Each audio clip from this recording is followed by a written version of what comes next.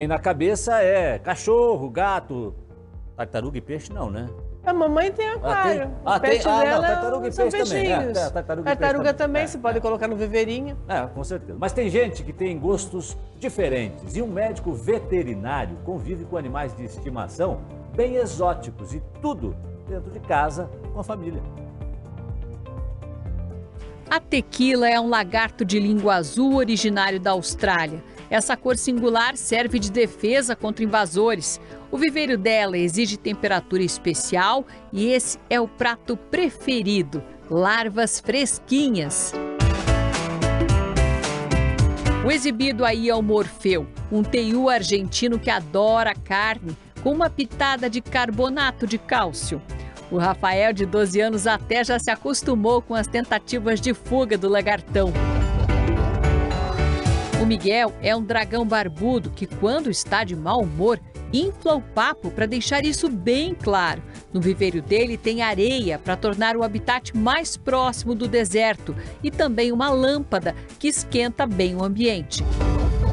Essa aqui é Misericórdia, ela é uma jiboia que está super acostumada já com a família, né, Anderson? Ela tem 7 anos, pesa 10 quilos e olha só como é que é a convivência aqui nessa casa. Todo mundo acostumado, né, Rafa? Sim, tudo acostumado. Super normal ter uma, uma jiboia de animal de estimação. Sim, todo mundo já. Ana, também. Também, super acostumado. Essa é a família do Anderson, hein, gente? Lá atrás, quando a Ana começou a namorar o médico veterinário, descobriu que ele tinha preferências diferenciadas. Então, eu sabia, daí começamos a namorar. E assim, no começo eu achei estranho, até um pouco, levei um sustinho assim. Mas quando você começa a conhecer esses animais, você percebe o quanto eles são especiais. E o quanto é gostoso, assim, conviver com eles. A Luísa, de cinco meses, já está vendo o Rafa ajudar com os cuidados diários. O hamster é de responsabilidade do garoto. Sim, eu ajudo. Tem que ajudar, né? Esses bichos não são fáceis de cuidar.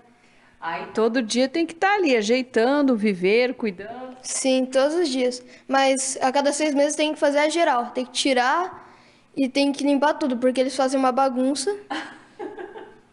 Mas é legal ter eles em casa. Uhum, É legal. É muito legal.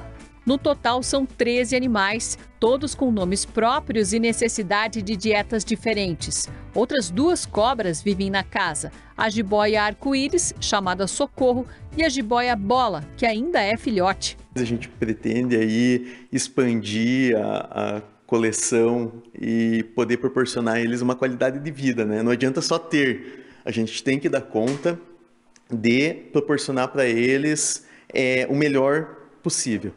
Vale lembrar que você também faz esse, esse trabalho de educação, de conscientização com os animais, né? Por isso também tem os animais.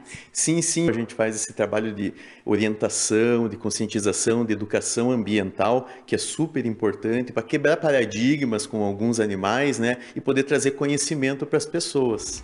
Vale reforçar que todos dividem o mesmo espaço, mas cada um fica no seu quadrado. Nem pensar em brincar com o hamster perto da misericórdia, por exemplo.